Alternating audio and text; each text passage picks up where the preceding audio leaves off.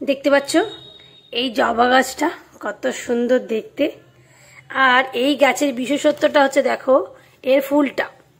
যেমন সুন্দর ফুলের কালার, তেমনি এই ফুলটার দেখো টেক্সচারটা দেখো কত সুন্দর। পাঁচটা পাপড়ি তো রয়েছে, তার সাথে এরকম একটা ঝুমকো টাইপের ঝুলে আছে। দেখো, এটা কিন্তু আলাদা করে।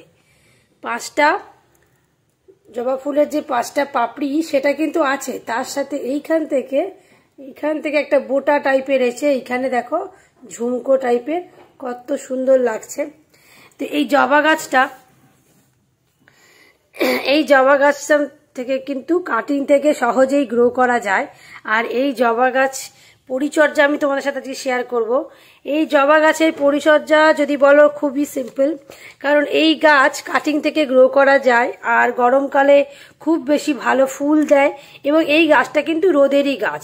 এই গাছটা কিন্তু ইনডোর প্ল্যান্ট নয়। এই গাছের সমস্ত পাতাগুলো দেখতে পাচ্ছ কতটা পরিষ্কার। দেখো ঝকঝকে তকতকে।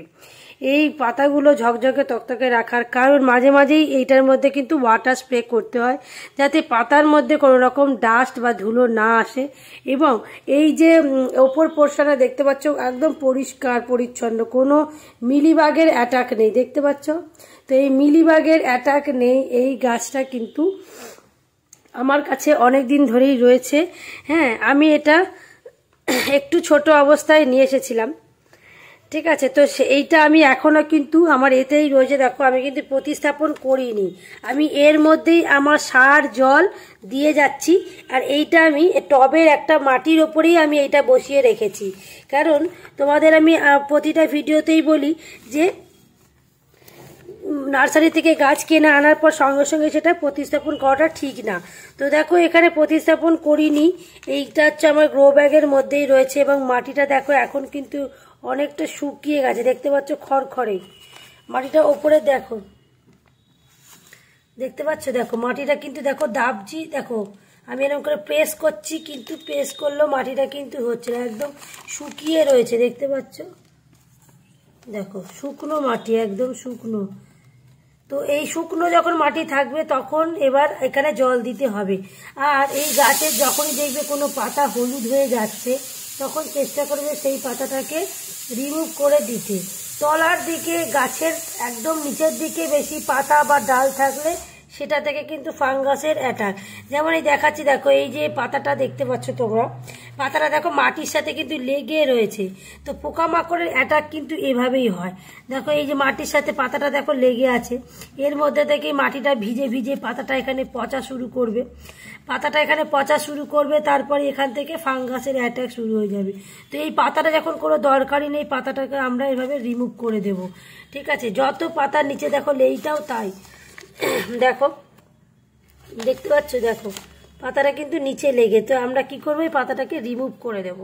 কারণ সবসময়তেই এই পাতা বা নিচের ডাল যখনই মাটিতে লেগে থাকছে, তখনই কিন্তু এখান থেকে ফাঙ্গাসের অ্যাটাক আর এইখানে দেখো একটা ডাল, দেখো কেরম একটা বেখাপ্পা মতো বেরিয়ে রয়েছে, দেখতে পাচ্ছ ডালটা? এই নিচের থেকে ডালটা বেরিয়েছে। তো এটা আমি, তোমরা চাইলে এখনই এটাকে প্রুন করে দিতে পারো, কিন্তু আমি এখনই করব না, কারণ এটাকে একটু বড় হতে দেবো যাতে তো গাছের এই পোর্শনে কিন্তু কোনো পাতা রাখা যাবে না। তো আমি দেখো সবকটা পাতাই কিন্তু নিচের এখানে যা যা ছিল আমি পরিষ্কার করে দিয়েছি। কারণ যে কোনো ফাঙ্গাসের অ্যাটাক এই নিচের পোর্শন থেকেই গাছে অ্যাটাক করে। তো আমি দেখো সমস্ত পাতাগুলো এখান থেকে আমি রিমুভ করে দিয়েছি। আর এই ডালটাকে আমি রেখে দিয়েছি। আর একটু বড় হয়ে যাওয়ার পর আমি এখান থেকে কেটে দেবো। আর একটু বড় হতে দেবো, তারপর আমি এখানে কাটিং থেকে চারা তৈরি করব। তো দেখো যে কোনো গাছেরই দেখো পরিষ্কার পরিচ্ছন্ন রাখলে কিন্তু কোনো সমস্যা হয় না। আর এখানে দেখো, আমাকে কিন্তু প্রতিস্থাপন এবারে করার টাইম হয়ে গেছে। কারণ দেখো, পুরো রুট কিন্তু ওপরের দিকে এসে যাচ্ছে। সব জায়গায় দেখতে পাচ্ছ, এই দেখো রুটগুলো কিন্তু আস্তে আস্তে পুরো দেখো, ওপরে পোর্শনটা সব দেখো রুটগুলো ছড়িয়ে গেছে। আর নিচটাও তোমাদের দেখাচ্ছি, দেখো। গাছের নিচটায় দেখো। দেখতে পাচ্ছ, গাছের নিচে কীরকম রুট এসে গেছে। তো আর নিচের দিকে আর বাড়তে পারছে না। এবার তাকে নতুন ভাবে কিন্তু বড় পটে একটা প্রতিস্থাপন করতেই হবে। আর মিলিবাগ যদি অ্যাটাক করে কোনো গাছে, তাহলে সেক্ষেত্রে আদা, রসুন আর পেঁয়াজের খোসাগুলো তোমরা জলের মধ্যে তিন চার দিন রেখে দেওয়ার পর যে জলটা তৈরি হবে, সেটা স্প্রে করে এই গাছের এই গোড়াইগুলো দিয়ে দেবে। তাহলে মিলিবাগের অ্যাটাকে কিন্তু ছোট ছোট যেগুলো কলি আসছে, ফুলের সেগুলো কিন্তু নষ্ট করে নেয়। পুরো এর রসটা খেয়ে নেয়। তো দেখো, এখনও পর্যন্ত কিন্তু গাছটা আমি সুন্দর মেনটেন করে রেখেছি। পাতাগুলো দেখেই তোমরা বুঝতে পারবে, দেখো পাতায় কোনো রকম কোনো নোংরার ধুলো নেই, একদম পরিষ্কার। তো এইগুলো হচ্ছে ওয়াটার স্প্রে করে ধুয়ে দিই, পরিষ্কার রাখি। তাই জন্যই গাছটা একদম প্রাণোচ্ছল রয়েছে। আর সব থেকে হচ্ছে দেখো, এই ফুলটা কত সুন্দর। এই ফুলের কালার অনেক রকমেরই অনেকের থাকে, কিন্তু এরকম ঝুমকো টাইপের মানে খুব আনকমন টাইপের আর আমি এবারে আস্তে আস্তে জবার কিছু ভ্যারাইটি আমার কাছেও রাখব। আমি অলরেডি আরও একটা জবার গাছ এনেছি, তোমাদের সাথে পরে ওই ভিডিওটা শেয়ার করব। সেই গাছের ফুলটা যখন ফুটবে, তোমাদের সাথে আমি ফুলটা নিয়েই ভিডিওটা করব। এত ফুল তো যখন গাছে ফুলটা ফুটবে তখন তোমাদের সাথে ভিডিওটা করব, যাতে তোমরা ফুলটাও দেখতে পারো এবং তোমাদেরকে সুন্দর ফুলটা আমি দেখাতেও পারি। তো দেখতে পাচ্ছ, এই ফুলটা রয়েছে বলে তোমরা বুঝতে পারছ যে জবা গাছের এই ভ্যারাইটিটা ঠিক কী ফুল।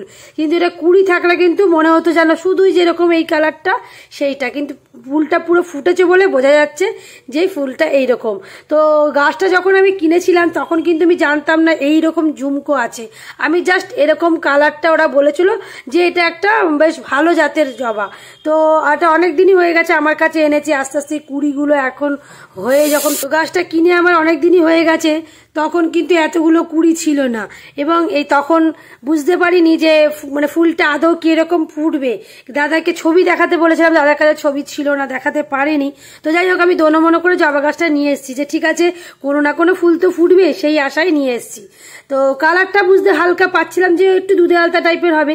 কিন্তু এখন এতদিন পর যখন ফুলটা ফুটেছে, আমার যে কী আনন্দ হচ্ছে মানে বলারই কথা নয়। তো দেখো এখান থেকে পরবর্তীকালে আমি আবারও কাটিং করে চারা করব। তবে এখন এটাকে প্রতিস্থাপন করার সময় এসে গেছে। এই ভিডিওতে আর এই জবা গাছের আমি প্রতিস্থাপন দেখাবো না, তাহলে ভিডিওটা বড় হয়ে যাবে।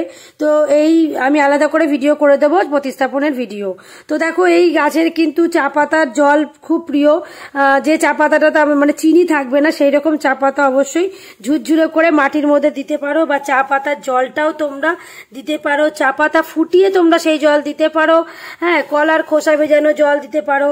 যে কোনো পাতা পচা বা সবজির খোসা ভিজিয়ে রাখার পর সাত আট দিন পর সেই যে জলটা, তার সাথে প্লেন ওয়াটার জল মিশিয়ে তোমরা পাইল করে দিতে পারো। জবা গাছে যেরকম জল কম দিলেও পাতা ঝরে পড়ে যায়, কুড়ি ঝরে পড়ে যায়, তেমনি জল বেশি দিলেও। যখনই জল দেওয়া হবে, তখনই যেন গাছে একদম দেখে নিতে হবে মাটিটা কি বলছে। মাটিটা যদি দেখো এরকম শুকনো, খটখটে, দেখো আমার এখানে মাটি একদম খটখটে হয়ে গেছে। দেখতে পাচ্ছ? এই দেখো, কিচ্ছু, গুঁড়ো গুঁড়ো হয়ে গেছে, মাটি একদম শুকনো। কিচ্ছু হচ্ছে না। তো সেক্ষেত্রে মাটিটা দেখো, জল দেওয়ার প্রয়োজন আছে। একদম টাইট হয়ে বসে রয়েছে। তো এখানে জল দিতে হবে। একদিন খুব গরম পড়লে প্রতিদিনই জল দিতে হবে। আর যদি বর্ষার ওয়েদারে গাছটা আনো, তাহলে বলব একদিন ছাড়া ছাড়া জল দাও, মাটি বুঝে জল দাও।